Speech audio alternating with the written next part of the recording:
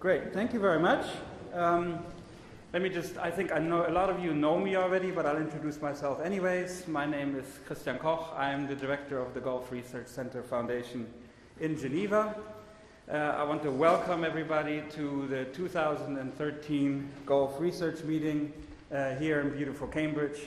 I think it's absolutely fantastic to once again see such a large group of old acquaintances, friends, colleagues, uh, plus the fact that we have so many new faces once again uh, in our effort to really try to bring about and create a community of people with a deep interest in Gulf studies and promoting uh, more scholarship and more research on our very critical region uh, of the world. I think the Gulf Research Meeting has really become the highlight, sort of, of at least of my calendar during the year simply because, again, you see so many uh, old friends and, and such a good community growing together. Um, and I think that with all the developments that we are currently seeing, not only in the Gulf but in the, in the wider Middle East, I think to have such a meeting where we can analyze, understand, uh, and deeply explore some of the fundamental issues that are pertaining to the region is just an incredibly important uh, addition uh, to what we try to do.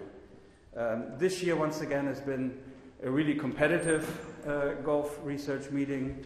Uh, we received almost 40 workshop applications, out of which we, in the end, decided to accept uh, 11, 11 really excellent proposals. Uh, it continued on when we opened the call for papers. In the end, it was over 400 paper abstracts that were submitted out of which, again, we have selected now approximately, I think the number in the end is slightly over 150 uh, paper editions that have been submitted. So I think this is really uh, a tremendous achievement.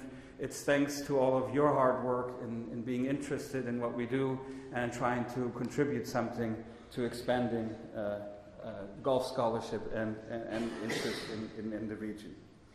Um, I will not take up much longer time. We have a full program, uh, very interesting panel discussions to follow. Uh, if I can now ask Dr. Abdulaziz Sager, the chairman of the Gulf